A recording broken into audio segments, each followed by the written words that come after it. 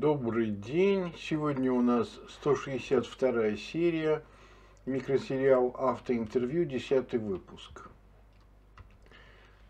Вместо эпиграфа Самое трудное для исследователя – правильно выбрать предмет исследования. Для этого надо понимать, где проходит граница между понятным и непонятным, и работать на этой границе. Понятным непонятным для кого? Для потенциального читателя. Вот материал из Фейсбука, обнаружил такую страничку. Мне кажется очевидным, что вот Евгений может быть и настоящее имя, но Сталин это, конечно, псевдоним, а вот комментарий на этой страничке, ну вот Мурат Мусабаев и Иосиф Хубиев как бы нетипичные русские граждане, несмотря на... Но вот Виктор Басов, наверное, типичный читатель этой странички. Со временем понимаешь, великий руководитель народов СССР Сталин с ошибками. Вот этот человек, это явно не писатель, а простой рядовой читатель, Тут все вместе представлено. Вот тут и православие с иконами, вот тут и культ победы, вот тут и я, я люблю Донецк наверняка в связи с войной в Украине. А вот это вот что за гора, интересно. Давайте посмотрим, что это за гора. Это не Гранд Каньон в США, это Туркмения.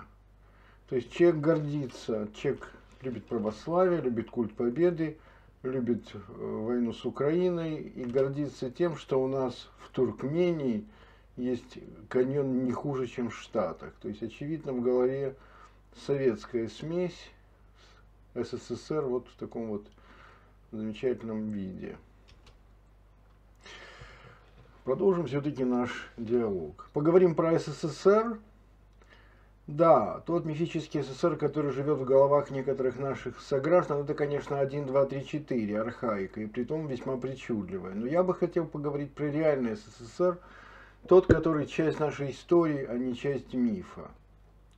Но ведь СССР 1937 года и 1977 года это не одно и то же, не так ли? Я буду говорить о трех эпохах, и они разные. Первый, первый СССР это Сталин, второй СССР это Брежнев, и третий СССР это Путин. А для чего мы занимались детскими садами, магазинами и прочее? Это нам как-нибудь поможет? Это поможет нам отдельно анализировать фактуру общества и отдельно фактуру власти. Фактуру или структуру?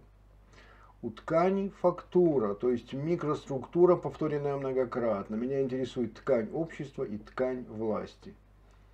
Они взаимосвязаны, разумеется. Это такая двуслойная система, взаимовлияние слоев важно, но важно и то, что у каждого слоя своя фактура и своя инерция. А вот Дмитрий Быков написал такую мысль. Путинская Россия взяла у СССР все плохое и не взяла ничего хорошего. Это одна из проекций того, что было в данном случае на экран сознания писателя Быкова. Мы объясним эту проекцию позже, но нас интересует объемная картина. Я уже отметил, что общество и власть надо описывать отдельно. Почему общество описывать труднее? Все примеры из общества СССР-2, которые я привел в прошлом выпуске. Плохой детский сад, советский магазин. Да, это мой личный опыт, но личный опыт отдельного человека ограничен. Информация о том, что реально происходит в обществе, Труднодоступно. Да. Во-первых, СССР и первый, и второй, и третий навязывает нам и продолжает навязывать ложную картинку. И это его родовая черта. Во-вторых, многие сообщества стараются закрыться от посторонних взоров, и мы не понимаем, что происходит внутри, пока либо не попадаем внутрь, как участники, либо пока не разразится скандал с подробностями, но и скандал не дает всей правды. И поэтому Поэтому сегодня мы поговорим о власти. О ней материала много, достаточно привести его в некоторый обозримый и понятный вид, а для этого у нас есть ТУАИ. Итак, первая компонента. Как был устроен СССР? Отмечу то общее, что объединяет Советский Союз первого, второго и третьего издания. Это общая вертикаль власти. То есть внутри властной группировки основная четверка это 1, 3, 5, 7 все решается вертикально, горизонтальные связи запрещены. Вот что пишет об этом Алексей Шустов, например. Большевики каленым железом выжигали любой намек на горизонтальные связи, потому что в каждом таком случае возникала угроза их власти. все замыкали наверх. Хочешь решить вопрос, пожалуйся, стучи, заноси начальнику. Хочешь урвать у соседа, найди старшего по званию, который тебе в этом поможет, либо сам займи положение сверху, решай с позиции силы. Только не пытайся договариваться. И вот в результате способность решать вопросы в уважительном горизонтальном диалоге утрачена. Хочу обратить ваше внимание, во-первых, на, на генезис, из чего это возникло, что тут, кто тут предок. Этот предок самодержавия 1.3.5.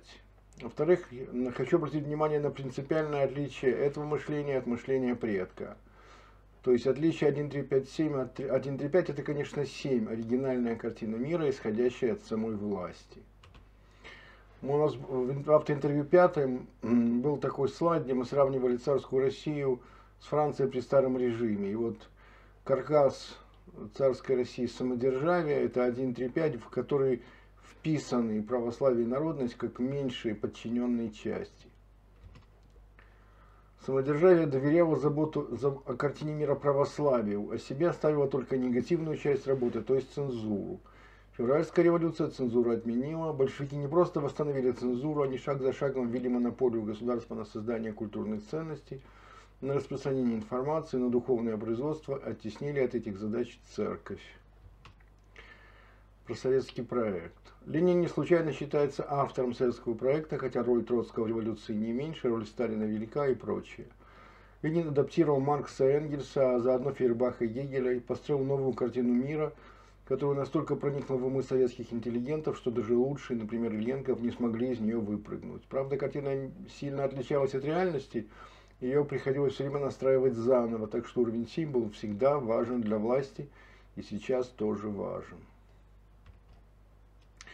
Путин и его подельники продолжают навязывать нам свою картину мира по семерке. Их фирменное блюдо, ложь, манипуляции, демагогия разных сортов – все это гораздо разнообразнее и сложнее, чем в СССР первой и второй версии. Итак, 1.3.5.7 – это скелет СССР и в первом, во втором и в третьем издании. Это и есть вертикаль. Но дальше начинаются различия между тремя версиями, возникает особая вторая компонента власти, а, особенная у каждой версии. Вторая компонента. Вторая компонента разная в разных версиях СССР. В первой версии это проектное мышление 3, 4, 5, 6. Во второй версии это моральное мышление 2, 4, 6, 8. И в третьей версии это традиционное мышление 1, 2, 3, 4. Я сейчас приведу три примера, которые как ключевые события подтверждают этот ответ. А подробное обсуждение этих типов мышления и как они были реализованы в истории СССР мы отложим до следующей серии. Это потребует значительно больше времени. Вот первое событие. Советский герб, принятый в 23 году и просуществовавший до 91 года. Это статья из Википедии. Обращаю ваше внимание на фразу в конце, что он выражает идею интернациональной солидарности народов СССР, трудящимися всех стран планеты Земля. Это, конечно, ложь.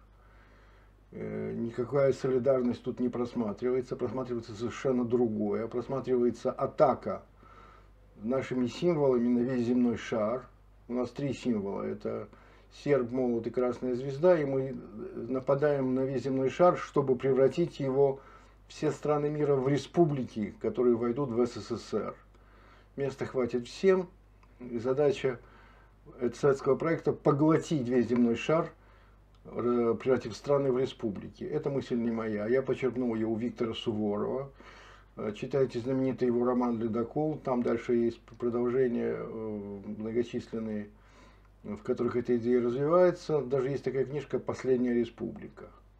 Вот пока последняя республика не будет включена в СССР, продолжается мировая революция, продолжается борьба за мировое господство.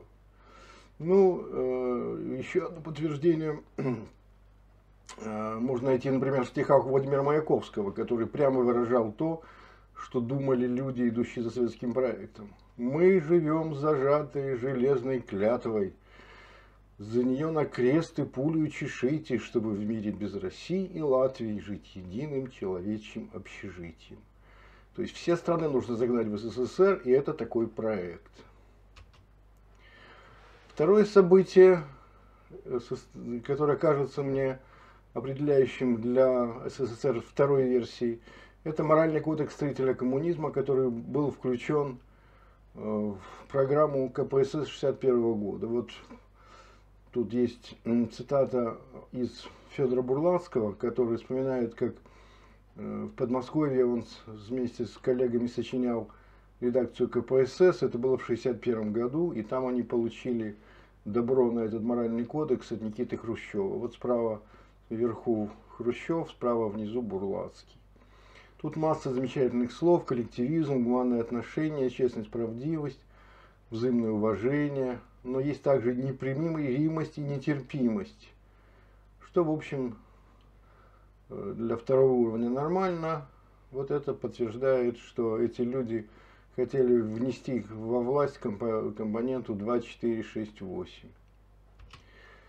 Э, третье событие – это храм Вооруженных сил Российской Федерации, открытый в этом году, 2020 Одновременно культ войны, культ победы, культ православия, все вместе. Как тут не вспомнить нашего друга Виктора Басова, у которых, которого православие, победа и война – Э, и образ, светлый образ Советского Союза слиты воедино. Ну и вернемся к тезису Быкова, который говорил, что путинская Россия взяла от СССР все плохое и не взяла ничего хорошего. И вообще СССР в целом это проект модернистов и прогрессистов. Мой комментарий такой. Конечно, сами по себе 3, 4, 5, 6 проектное мышление и 2, 4, 6, 8 моральное мышление. Это хорошие типы. Но если их соединить с 1, 3, 5, 7, то они утрачивают все свои позитивные качества. И тут пору привести русскую поговорку, что если смешать бочку говна и бочку меда, получится две бочки говна. Ну вот и все на сегодня. До новых встреч, продолжение следует.